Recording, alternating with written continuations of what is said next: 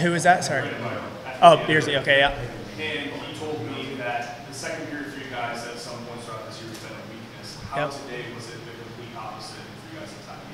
Yeah, it was. I felt like we were in the ozone basically the whole time. We got a, probably like 20 shots or something in the second. It was really good. Just the second period's all mentality, um, keeping things simple, not turning pucks over because um, turnovers in the second just kind of cause more damage and more chaos because it's a longer change. So that was a focus, and I thought we did a good good job tonight. You keep it in the ozone, and then sometimes they chip it out and just short regroup while guys try to change, and then you get back in on a on an odd man. And I thought we did did that really well tonight.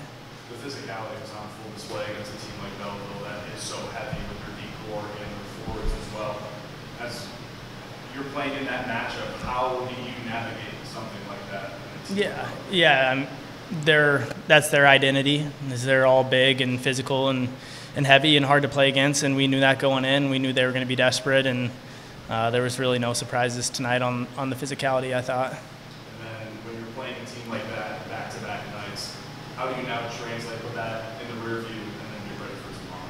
Yeah, we'll just, you know, coaches will do a good job breaking down film for us and making some minor adjustments. We worked on a lot of things throughout the week that I thought we executed pretty well on, and we'll make a few adjustments and uh, right back at it tomorrow. We've, you know, we go through this every weekend for the last six or seven months, so by now it's just uh, routine. If you try to think back on all the chances in the second period and the first, Yeah. how many goals do you think you guys could have had just off grade A chances? Yeah, I thought their their goalie played well. He's obviously big boy and uh, long reach, made some good saves. Um, so credit to him. Uh, but we tested him. I thought we had some, you know some really good looks and um, had some good looks on on the power play and five on five in the second was great. Um, overall, I thought you know we did a good job testing him and and uh, he stepped up in some big moments. Obviously going down two nothing after the first period, is not ideal, but then you get that fight by Brendan Warren that kind of end that first period. What kind of things are said in the locker room that first intermission to kind of try and spark you guys like what happened tonight? Yeah, that uh, you know, War Dog's such an important player to this team with with how hard he plays and how hard he competes, and you know he's added that little extra grit to his game, and he's been uh, fighting a little bit more recently. Obviously, don't need him to do that, but um, just laying out, all out there for the boys, and we recognized that, and uh, it did spark us and got us right back in it uh, early in the second there. So. Obviously the shot volume and really the grade A chance volume high tonight. How frustrating is it to really only score three and uh, come out on the short end today? Yeah, I mean that that's hockey. Like sometimes goalies are just gonna get hot, and uh, it's just the way she goes. You know, we've all been through it plenty of times, and you just gotta stick with with what's working and, and keep creating those chances. And you know, probability says that pucks start going in over time. So On the bright side, did you guys clinch a playoff spot uh, tonight? How does that feel for you guys? yeah, uh, obviously you'd like to do it on a win, make it feel a little bit better, but.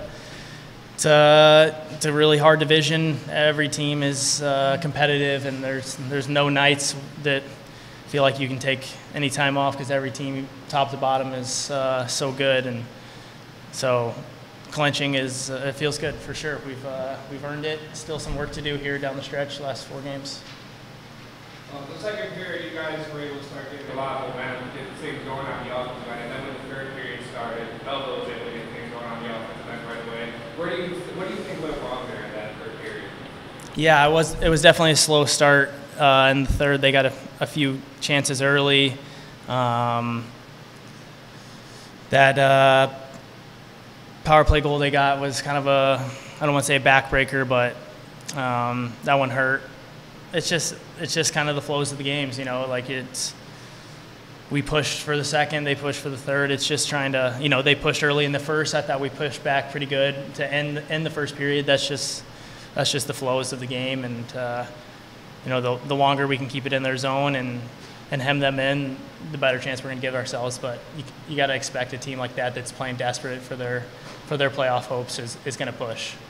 And then this game seemed like a game of runs. Belleville went on one in the first, and you guys went on run, and then was Belleville again. How do you guys try and learn from this one and try to not make it a game of runs until your game tomorrow?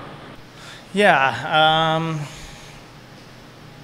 I think it, it's kind of hockey to to a degree. Like you try to simplify things, and the cliches of getting things deep and just getting pucks on net is kind of what leads to to less of those streaky runs, I'd say. But um, I thought we did a pretty good job of limiting their runs when they had them. Obviously, some things went in tonight, um, but uh, that's just the way she goes.